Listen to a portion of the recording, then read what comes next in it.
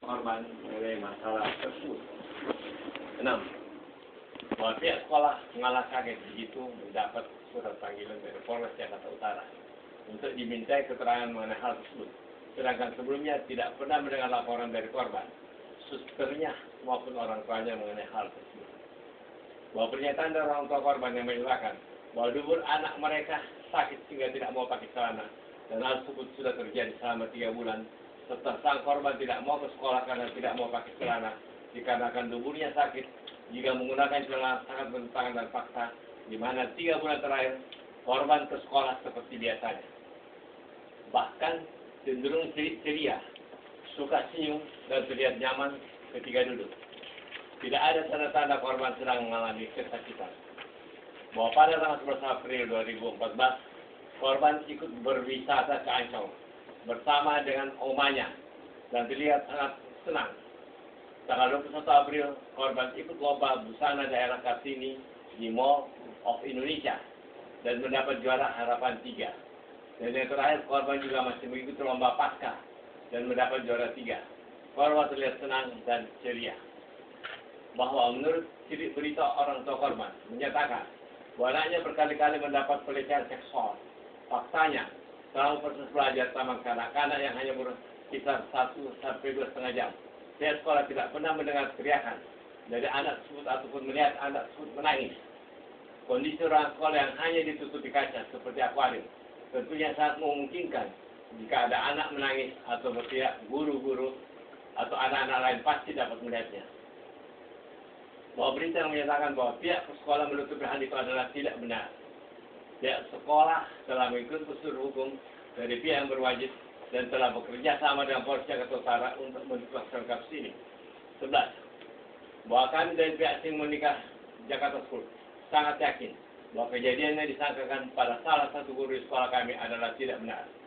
Berikut peraturan dari Miss Hasan Menikah Jakarta School yang diduga melakukan pelecehan seksual terhadap salah satu muridnya. Kenapa bisa begini? Setiap mengajar saya selalu ditemani. Saya sudah mengajar di atas 9 tahun dan saya tidak pernah melakukan hal itu. Hati saya sangat sakit karena ini menyangkut nama baik saya. Ini merupakan fitnah. Saya sangat sayang sama anak-anak. Tapi kenapa hal seperti ini saya dapatkan? Saya terluka.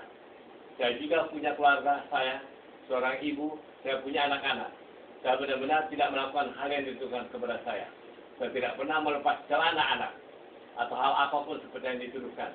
Saya minta bantuan kepada Bapak Presiden SBY Wakil Presiden, Bapak Menteri Pendidikan, jajaran Sudin Jakarta, Ketua IGT PKI, guru-guru setanah seluruh orang tua murid, dan seluruh rakyat Indonesia. Saya seorang guru yang setiap hari datang bekerja, bermodalkan ketulusan hati semata-mata untuk kesuksesan anak dan keluarga keluarganya. Sembilan tahun lebih saya mengabdikan diri saya untuk bangsa dan negara, untuk mencerdaskan anak-anak. Tolong Bapak Menteri tegakkan asas praduga tak bersalah kita sebagai profesi guru jangan perlakukan dan samakan kami dengan kriminal. Seorang guru bekerja dengan moral cinta yang tulus. Saya terluka dan sedih karena dituduh. Dan jangan sampai rakyat Indonesia berpikir menjadi seorang guru itu tidak nyaman. Mohon tangkap pelaku sesungguhnya. Ini dari yang disangka. Nanti diperbanyak. Saya pikir begini. Bahkan saya sudah menulis surat kepada Kapolres Jakarta Utara. Karena banyak keterangan pers itu juga nanti saya akan melaporkan balik kelihatan orang tuanya. Karena pada waktu saya pegang perkara ini kan saya pegang Ji. Tentu dua hal yang berbeda. Kalau anda lihat Ji, sampai ini dia nggak terbuka. Saya tanya Ji, nggak terbuka. Guru-guru sudah banyak yang pergi. Tahu orang tua guru sudah banyak yang pindah karena nggak terbuka. Kenapa begitu? Kalau kita hari ini datang polisi kita temuin, Mau ambil CCTV kita kasih. Masuk ke sekolah kita kasih. Jadi saya mohon juga teman-teman wartawan objektif dalam hal ini. Ini sekolah ini. Toh kalau targetnya guru, toh kami cuma minta asas praduga tak bersalah. Kepala sekolah kemarin naik, karena cuma satu saya bilang. Kalau Anda melakukan, saya nggak di situ. Itu aja. Tetapi saya baca media apa semua itu udah terlalu hebat. Miring medianya, tidak cover both side. Jadi saya terima kasih Anda datang kemari. Karena ini dalam rangka menjalankan tugas jurnalistik untuk cover mustahil saja. Itu yang saya minta. selebihnya tanya polisi surat kami dan kami layankan, tahu punya surat kami, kami mendukung polisi sepenuhnya. Silahkan masuk ke Lokus dan Tempus. Kalau JIS sampai ini polisi belum bisa masuk. Eh, saya tanya kalau eh, Ini nanti keterangan pers menjadi bagian daripada keterangan saya. Jadi jangan di, di, di, dikurangi. Anda boleh tanya dari mana?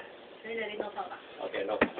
Saya mau tanya, ini eh, waktu saya ketemu dengan keluarga dengan orang tua korban, dia bilang bahwa kejadiannya itu di eh, dancing class gitu, yang di